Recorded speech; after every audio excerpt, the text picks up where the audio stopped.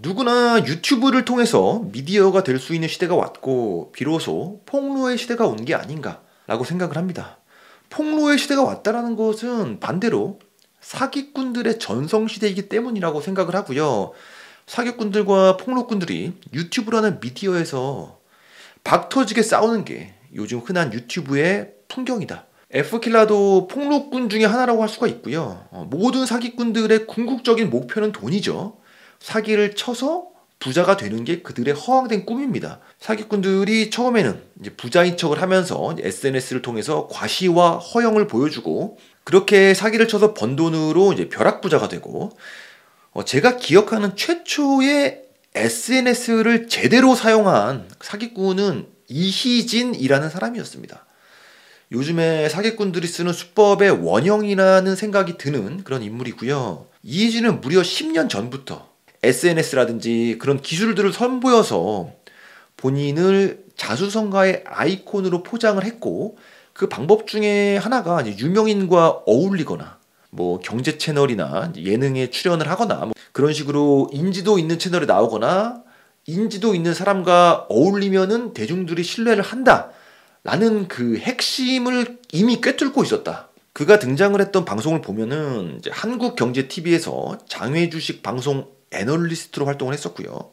그 외에도 한국경제TV의 대박천국, 음악의 신2, 풍문으로 들어쇼, 유튜브 최군TV 등에 등장을 해서 그의 메시지가 전달이 되면서 대중들의 신뢰를 높였고요. 그 외에도 과시라는 방법이 매우 효과적이라는 사실을 알고 수많은 슈퍼카들 그리고 청담동 펜트하우스를 공개하고 그거를 이제 SNS에 열심히 올리면서 현재 성공 포르노 사기꾼들이 사용하는 그 방법의 클리셰라고 할 수가 있겠습니다. 어, 이지인이 본인의 또 허황된 꿈을 막 말을 하고 다니면서 더 많은 팬들을 확보하게 되는 계기가 되는데 가령 청담동 신사옥 건설, 뭐 람보르기니 국내 총판 인수 부가티 한국 법인 설립, chemical 탱커 선박 네 척 인수 뭐 이런 식으로 본인이 이 정도 스케일이다라는 것을 보여주기 위해서 이제 허언증 환자처럼 도를 넘는 과장을 막 하고 다녔는데 이것이 오히려 대중에게 더 잘 먹혔다라는 거죠. 뭐 그러나 다른 사기꾼들과 마찬가지로 결과는 좋지 않았고요. 이어지는 수사와 재판 그리고 구속이 life가 되어 버렸고 부모님도 피해자들에 의해서 변을 당하게 됩니다. 어, 그렇게 끝은 좋지 않았지만 이희진이 남긴 성공 포르노의 유산은 10년이 지난 지금까지도 수많은 모방 범죄를 양산하고 있다. 이희진의 흑수저와 성공신화와 람보르기니의 콤비네이션은 이제 흔한 모습이고요. 이제 피해자가 속출을 하다 보니까 사기꾼들을 폭로하는 채널들도 등장을 하게 된 것이고 어, 사기꾼과 폭로자 이 둘의 태생도 전쟁터도 숙명적으로 유튜브라는 플랫폼이 되어버렸다. 사실 유튜브 이전에도 폭로의 미디어가 있었는데 바로 팟캐스트입니다. 나는 꼼수다라는 팟캐스트 방송이 기억이 나는데 정치판에서 진보 진영에 속한 미디어고요. legacy 미디어가 아니다 보니까 정제되지 않은 언어로 엄청난 폭로전이 자행되었고 효과가 정말 탁월했고 정치에 관심 없는 사람들조차도 재미 때문에 열광을 했었다. 그 당시에 폭로의 대상은 주로 MB나 박근혜 같은 보수 진영 인사들이었고요. 그 뒤로는 보수 진영에서도 나는 꼼수다에서 영감을 얻은 가로세로 연구소 같은 legacy 미디어 밖에 채널들이 생겨나게 됩니다. 이런 폭로전이 효과가 있고 흥행이 된다라는 것을 인정하게 된 것이죠. 유튜브 시대로 넘어오고 나서 더 많은 소규모 폭로 채널들이 등장을 했고 활동 영역도 다르고 또 사이즈가 작기 때문에 전쟁으로 비유를 하면 게릴라전과 같은 이제 팟캐스트랑은 또 다른 양상으로 진행이 되고 있고요. 팟캐스트 같은 경우는 사실상 돈 벌기가 어렵기 때문에 아무나 시작하기가 어려운 허들이 있는데 비해서 유튜브는 수익 구조를 만들기가 용이하기 때문에 훨씬 많은 채널이 생겨날 수 있는 토양이 되었다는 거죠. 에프킬라는 폭로 채널이 더 많아지기를 기대하고 이것이 사기꾼 입장에서는 리스크가 되고 결국은 사회 정화 기능을 해줄 거라는 믿음을 갖고 있습니다. 오늘 소개드릴 세 개의 채널은 사기꾼이 판치는 세상에서 타당한 근거와 신뢰를 바탕으로 믿음을 주었기 때문에 성공을 했고 또 앞으로의 활약이 더 기대가 되는 채널들입니다. 첫 번째 소개드릴 폭로 채널은 다크사이드 코리아라는 채널이고요. 요즘 들어서 굉장히 핫해진 채널이기도 하지만 정말 폭로 채널의 교과서라는 생각이 드는 게 1년도 안 되는 짧은 시간에 급성장을 했고 이제 그 비결을 보면은 군더더기 없는 내용 그리고 재미있는 음악과 분위기 그리고 정제되지 않은 표현인데 여기서 개인적으로 핵심이라고 생각을 하는 게 이제 군더더기 없는 내용입니다.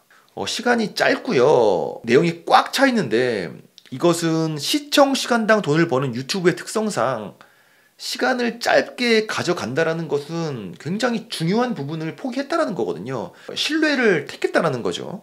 어, 최근에 은현장 universe 시리즈로 관심을 받게 되었고 DC 인사이드 장사의 신 갤러리에서도 다크사이드 코리아의 신임을 보내는 분위기고 아마도 독점적으로 DC 인사이드 장사의 신 갤러리에서 또 정보를 제공받는 부분이 있지 않을까라고 생각을 합니다. 왜냐면은 정말 빠르게 영상이 올라오거든요. 먼저 정보를 얻을 수 있었던 것이 아닌가. 거침없는 입담과 신뢰가 있는 자료들, 그리고 빠른 업로드 속도 등의 이유로 구독자들이 열광을 하는 것이 아닌가.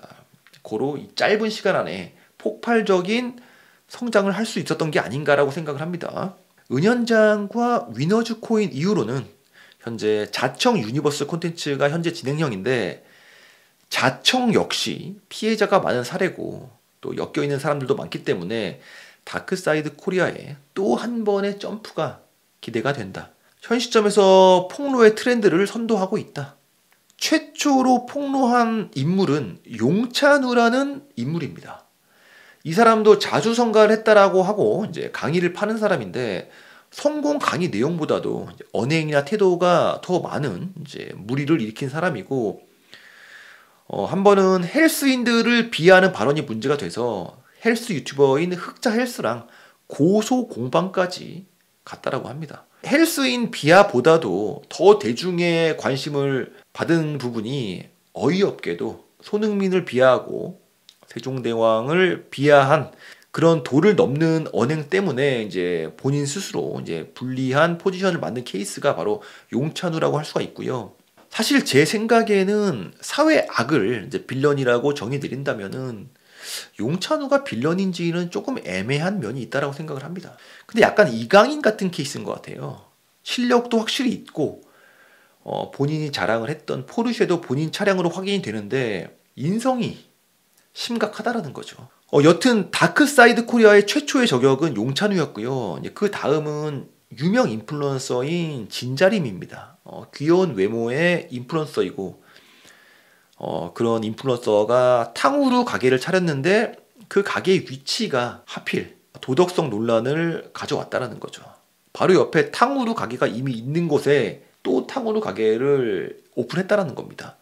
본인이 인플루언서라는 파워를 믿고 이제 가게를 차렸다는 것이고 그 덕분에 엄청난 욕을 먹게 된 사람입니다.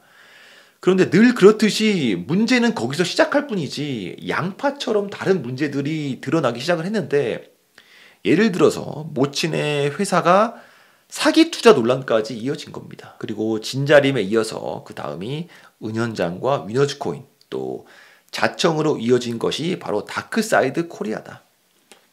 시작한 지 불과 6개월 만에 구독자 10만을 바라보고 있고 브랜딩도 굉장히 잘했고 개성 넘치게 잘했고 쓸데없는 말도 없이 5분 내외로 방송을 꽉 채워서 한다. 라는 가장 큰 장점이 대단하다라고 생각하고요. 3프로 TV랑 비교가 된다라는 거죠. 3프로는 거의 하루 종일 방송을 하면서 절반 이상이 잡담이잖아요. 시청 시간당 이제 비용이 발생하기 때문에 그걸 계산한 전략인데 제 생각에는 자충수라고 생각을 합니다. 다크사이드 코리아는 구독자 수가 10만 정도인데 영상 한 편당 거의 조회수가 30만 회라고 한다면은 3프로TV는 구독자는 200만이 넘는데 1만도 안 되는 영상이 더 많은 게 현실이다. 참고로 다크사이드 코리아가 자청을 저격하기 전에 이미 먼저 자청을 저격했던 채널이 있는데 바로 그 다음으로 소개드릴 동기부여 뒤집기라는 채널입니다. 저도 한 2주 전에 알고리즘을 타고 보여져서 시청을 했는데 어, 그때 들었던 생각은 보석을 발견했구나 라는 생각이 들었습니다. 지난주에 자청 폭로 영상이 뜨면서 조회수 45만을 기록하면서 동기부여 뒤집기 영상에 신기록을 세우게 되고 이 영상이 다크사이드 코리아가 자청을 다루는 데 있어서 계기가 되었다라고 합니다. 동기부여 뒤집기의 폭로 대상은 성공팔이 강의들입니다. 그러니까 동기부여를 해준답시고 긍정의 힘이라든지 시크릿이라든지 뭐 이런 방법으로 어, 성공이 간절한 사람들을 등쳐먹는 성공파리 강사들이 속출을 하고 있는 현실에 나타난 그런 폭로 채널이라고 할 수가 있고 성공파리 강사들이 몇백억 자산가라고 브랜딩을 하는 진짜 숨겨진 의도는 돈이죠. 강의든 상품이든 뭐든 팔아서 쉽게 돈 벌고 싶은 수작임을 꿰뚫어 봤다라고 할 수 있고요. 그들의 성공 신화의 내용을 또 구체적으로 해보를 해보면은 대부분이 과장이거나 허위였다라는 것이고 동기부여 뒤집기에서 수많은 성공팔이 강사들을 소환했는데 개인적으로 가장 재밌게 본 강사는 켈리 최입니다. 켈리 최는 어느 날 갑자기 등장을 해서 6천억 매출이랑 흑수저 자수성가 스토리를 수많은 채널에 나와서 들려주었고 저는 수천억 자산가 치고는 아, 너무 열심히 유튜브를 만들고 또 남의 유튜브에 출연도 하고 강의도 너무 열심히 하고 책도 너무 열심히 쓴다라는 게 좀 이상했거든요. 제 눈에는 마치 빚이 많은 사람처럼 급해 보였습니다. 뭐 그건 제 뇌피셜이고요. 근데 역시 동기부여 뒤집기에서 이제 폭로와 객관적인 근거가 함께 제시가 되었고 켈리체 그녀의 실체는 역시 그녀의 주장과는 거리가 멀었다. 스포일러를 하지는 않겠습니다. 이제 켈리체를 아시는 분들은 굉장히 재밌게 볼 수 있는 컨텐츠고요. 그 외에도 안대장, 박세니, 민팍, 스터디언, 하와이 대저택 등을 주제로 한 컨텐츠들이 있고 흑수저 성공 신화와 몇백억 자산가를 믿고 그들을 소비하는 분이 계시거나 그들의 실체가 궁금하신 분들께 어, 적극 추천드립니다. 세 번째로 소개드릴 폭로 채널은 부동산 분야에서 활동하는 어, 박홍기 채널인데 어, 저는 개인적으로 부동산 폭등이 진행 중이었던 시기에 빚을 내서 아파트를 사야 되나 진지하게 고민을 했던 시기에 박홍기 채널을 봤었고 덕분에 구제를 받을 수 있었고 어, 그렇게 인연이 있는 채널입니다. 집값이나 부동산 시세를 말하는 그런 채널은 아니고요. 훨씬 더 포괄적으로 부동산 정책이랑 맞물려 돌아가는 바젤 3에 대한 대중을 향한 계몽 차원에서의 강의라고 할 수가 있고 정부 정책을 통한 부동산 시장 진단을 선진국에서 실행한 바젤 3의 사례와 그 내용을 학술 자료랑 정부 자료, 뭐 실태 조사 이런 자료를 바탕으로 진행이 되기 때문에 신뢰도가 높고 또 난이도가 좀 높은 편이다. 부동산이 오른다 내린다 뭐 노도강이 좋다 나쁘다 신축 구축 뭐 이런 내용은 아닙니다. 그런데 거시적인 흐름과 미래의 방향성을 이야기하면서 부동산 카르텔의 실체에 대한 이제 폭로가 일어나는데 상당히 재미가 있고 으시시하다. 근데 영상 길이가 좀 길다. 예전에 부동산이 하락하기 전에 부동산 폭락론자라면서 뭐 박홍기 채널에 부동산 카르텔들이 몰려와서 이제 채널을 테러하고 또 협박도 하고 뭐 그런 해프닝도 있었습니다. 이렇게 세 개의 채널을 소개해 드렸고요. 앞으로도 객관적인 자료를 근거로 한 100% 팩트 기반의 폭로 채널이 더 많아지기를 바라는 마음입니다. F킬라도 역시 진실을 파헤치고 거짓을 폭로하는 채널 중에 하나고요. 제보가 실제로 많이 옵니다. 피해자가 많다라는 거죠. 근데 제보를 주실 때 누군가를 저격하는 내용이기 때문에 영상이 제작이 되려면 근거 자료가 객관적이어야 되고 또 피해 사실이 납득이 가야 된다. 카톡 대화 내용이나 녹음 파일만 갖고는 부족하고요. 보도 자료 혹은 누구나 들어서 열람을 할 수 있는 자료가 근거로 뒷받침이 되어야만 한다.